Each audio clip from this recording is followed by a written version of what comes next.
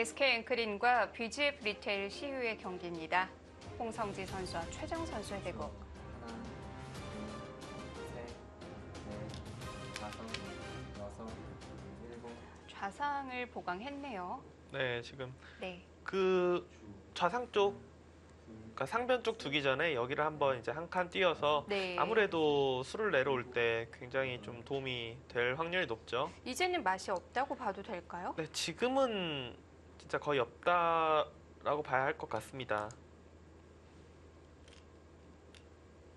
그러니까 백이 이런 거 이제 젖히고 뭔가 호구 쳤을 때 선수 모양이 돼야 되는데 네. 그곳을 미리 호구를 네. 친 거기 때문에 지금은 거의 없는 것 같아요.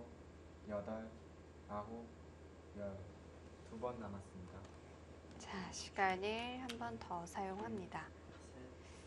자, 스코어는 51대 49라고 얘기를 하고 있는데 지금 그런데 100이 좋은 건가요? 아니요, 뭐 그냥 5대 5라고 보시면 될 것 같아요. 그야말로 이제부터인데요. 백도 뭐 확실하게 지금 눈에 띄게 늘어난 곳이 없잖아요. 두면서. 넷, 다섯, 여섯, 일곱, 여덟, 아홉,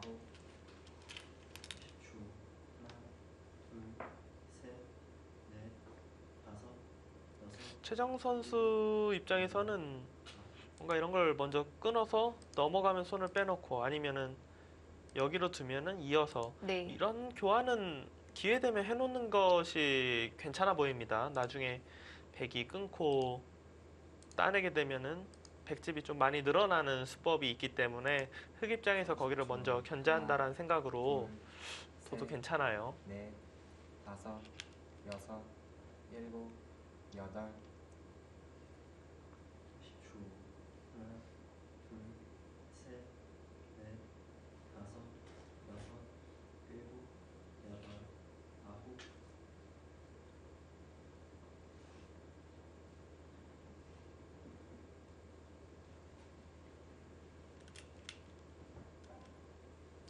아, 정말 뭐 어디를 끝내게 해야 될지 모르겠는데요.